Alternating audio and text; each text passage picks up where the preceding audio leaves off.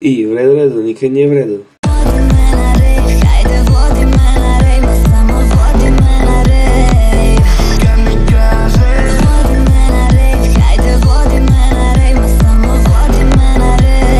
Danas ću napraviti recenziju ovoga Kolizi L2 Chargera, pa da vidimo. Znači on dolazi u ovakvoj kutiji, kod mene je već dvije godine, tako da vam mogu sa sigurnošću reći ili ima kakvih problema i da prvo vidimo opcije i specifikacije. Znači podržava 2 ampera brzo punjenje, naravno možete puniti, naravno možete puniti i sa pol ampera, 1 amper i 2 ampera, E, dvije baterije možete puniti, naravno koristi 5 volti, za baterije, e, za litij-ionske 4,2 volta plus minus je odstupanje. I normalno jednu bateriju punite sa 2 ampera, a dvije baterije sa 1 amperom. I ovdje sam vam sad pokazao koje baterije podržava, tako da pauzirajte i pogledajte.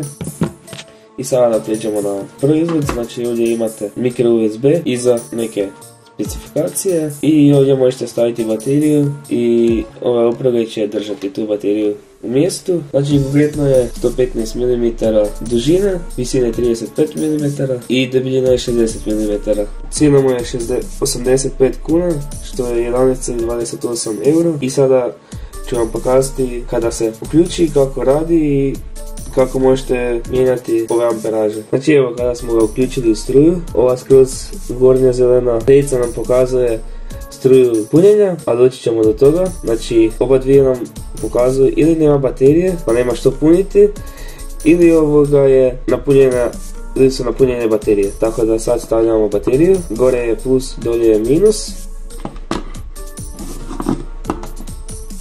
I kada stavimo crveno, znači da se puni, ovdje znači da se puni. E sada držimo ovu tipku i prebaci se na 1 amper. Držimo dalje, prebaci se na 2 ampera. Naravno morate imati punjač za 2 ampera. Ako nemate onda će se samo, onda će se samo vratiti na pola ampera. Ali ja bih vam preporučio, mislim kada ste kod kuće i pazite na, na, na punjenost baterije, držite na 1 amper, a kada vas nema kući, budete na, na pola ampera, zato što na primjer po noći kako bi ovoga, vaša baterija duže trajala. A ako vam zaista treba brzo baterija, samo stavite na 2 ampera. Nadam se da ste shvatili. I to je to. Her bass Vodka, daily fuel, to fucking